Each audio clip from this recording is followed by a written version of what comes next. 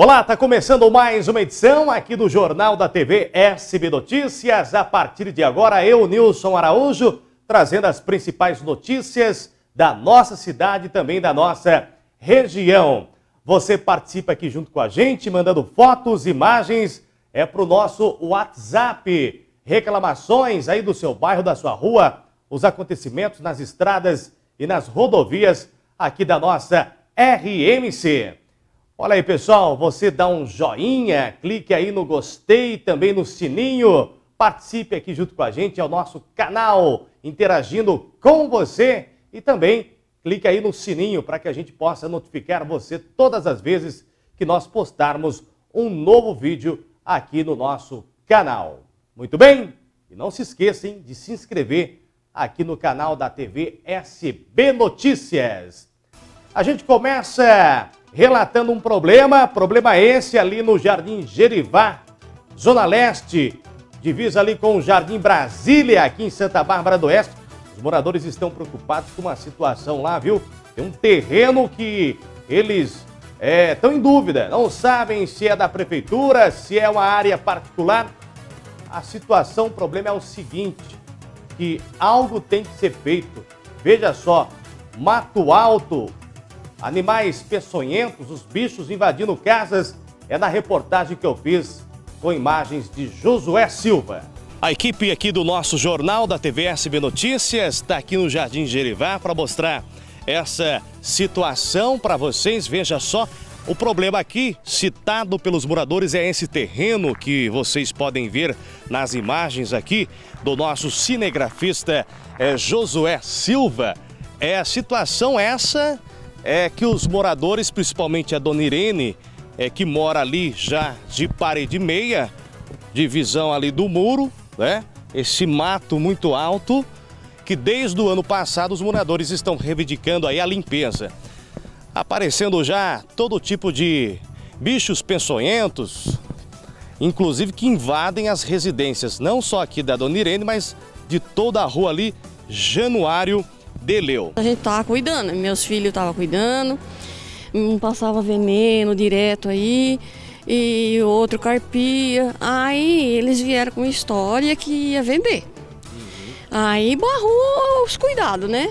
Diz que ia vender, aí já veio falar que já tinha vendido.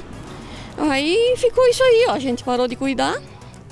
E o certo, né? Eu falei, eles que façam quem comprou cuidar então, né? Já que eles não cuidam. Desde outubro a gente já abriu o protocolo, fomos na prefeitura, avisamos já do terreno aqui da esquina que tá cheio de mato alto, tem bastante bicho entrando dentro de casa, né? Eu tenho criança, né? E é perigoso entrar dentro de casa, ainda mais esses, vamos supor, escorpião, né? Que se picar criança, criança normalmente não aguenta, né? E só que a prefeitura não toma atitude de vir limpar. Uns falam que é de é, foi vendido, outros falam que é da prefeitura e a gente não aguenta mais, né? Essa praça também que a gente mostra, veja só os galhos das árvores precisando de manutenção. A grama muito alta, você percebe que lá tem alguns brinquedos e aqueles brinquedos estão é já o mato já está cobrindo eles. Então a gente queria ver que se eles tomassem um jeito de limpar, porque está muito feio e está tendo muito bicho para entrar dentro de casa, a gente fica com muito medo, né?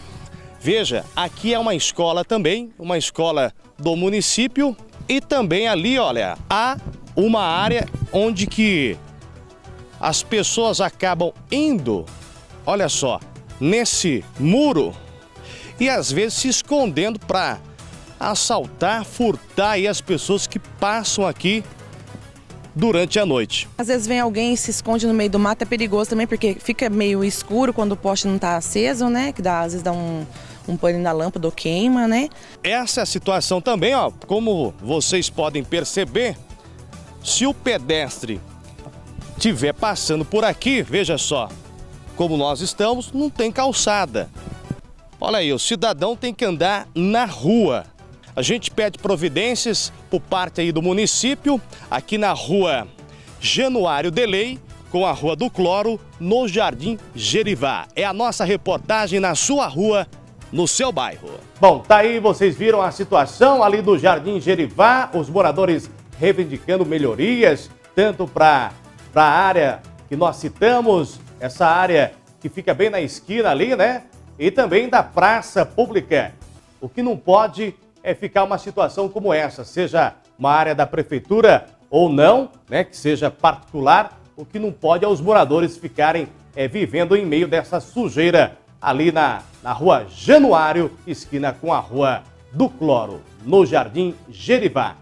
Vamos lá, a gente espera voltar no local para mostrar o lado bom, né? Mostrar a limpeza agora por parte aí do município ou por parte também do proprietário deste terreno.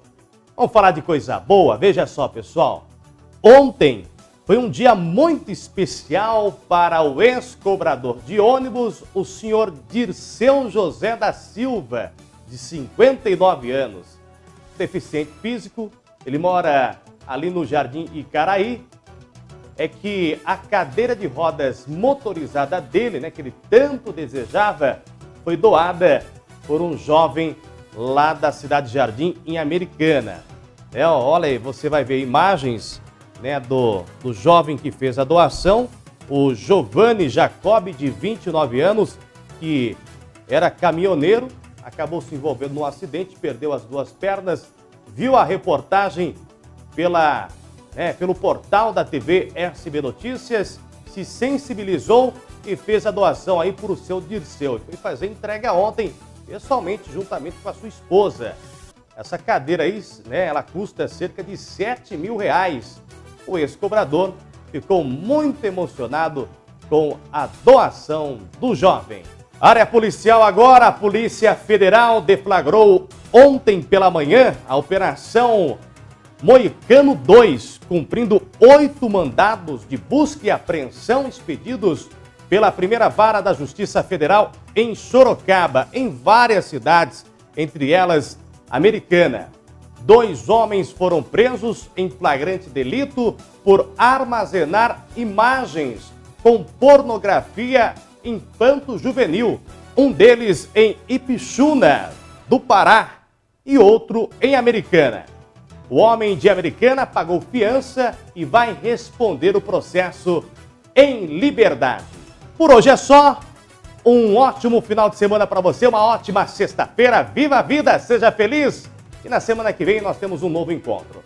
Outras informações e notícias você tem no portal SB Notícias e também pela Rádio Brasil no AM 690.